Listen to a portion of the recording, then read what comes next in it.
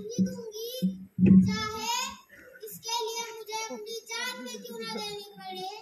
झांसी मेरी आन है, शान है, ईमान है। हम लड़ेंगे ताकि आने वाली पीढ़ियाँ अपनी आज़ादी का उत्सव मना सके। एक कहानी बनाओ।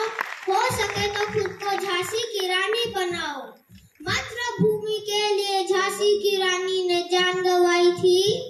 और इधर जब लक्ष्मी आई थी। उखाड़ फेंका हर दुश्मन को जिसने झांसी का अपमान किया मर्दाने की परिभाषा बनकर आज़ादी का पैगाम दिया।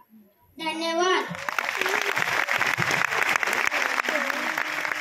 Thank you Yashasvi.